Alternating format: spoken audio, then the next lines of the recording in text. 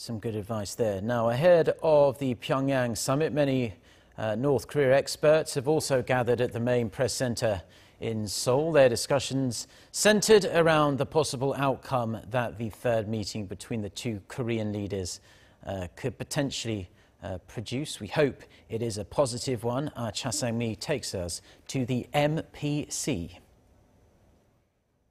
What a year. At a panel discussion hosted Monday by Arirang News, experts weighed in on the topics that might come up at the Pyongyang summit, ranging from a written promise by North Korea to destroy some of its weapons, to complete denuclearization, to the lifting of U.S.-led sanctions on the regime.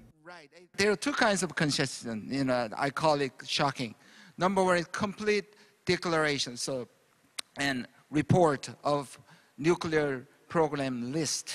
But it is not going to be easy for him to to report. But if he did, it's a shocking concession. Another one is partial uh, destruction of weapons or missiles. Each expert had different ideas about the summit's outcome, but they agreed that the UN sanctions might be the stumbling block for improving ties and especially for economic cooperation between South and North Korea. That's because the sanctions make it impossible for the Korean leaders to follow through on things they might put on paper. The experts also discussed what the next step might be, suggesting there might be another summit between Kim Jong-un and President Trump. Yet when asked about what the latest inter-Korean summit means for the U.S. and the Trump administration in particular, defense expert Harry Kazianis said that the bigger threat for the U.S. right now is its dispute with Beijing. China is the much bigger threat. In fact, to be very honest with you, if North Korea did not have nuclear weapons, I, I, do not think the United States would, would be as concerned about the, the, the North Korean issue. So I think we have to look at it, the whole situation for the Trump administration and for its Asia policy through that China lens. He mentioned that President Trump is more engaged with domestic politics at the moment, so he might try to leverage a second Kim-Trump summit for the midterm elections in November. But a Korean expert doesn't think Kim Jong-un will go for that.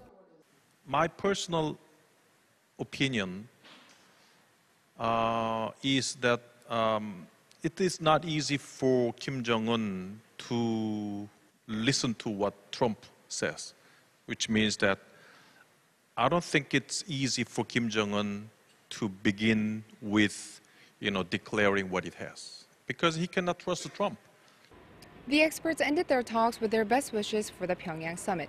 They called on President Moon to be a guarantor this time, not just a mediator, and to get some concrete result on denuclearization and to bring peace to the Korean peninsula. Cha Sang-mi, Arirang News.